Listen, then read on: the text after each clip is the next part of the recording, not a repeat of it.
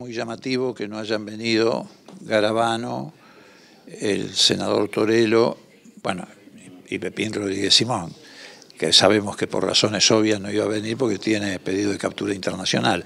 Aunque hoy se conoció coincidentemente con esta reunión que la Corte Suprema de Justicia de Uruguay le negó el recurso para que aparezca como eh, exilado político y en realidad esto ya abre el camino para que Interpol lo traiga.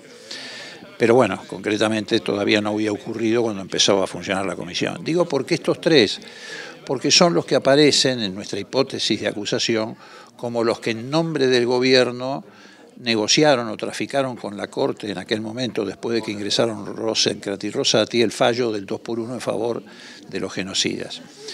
Pero bueno, de todas maneras, como usted bien dice, vinieron algunos secretarios de corte, eso también dejó bastante material interesante. Y bueno, es como en todo procedimiento de esta naturaleza, se va armando un rompecabezas.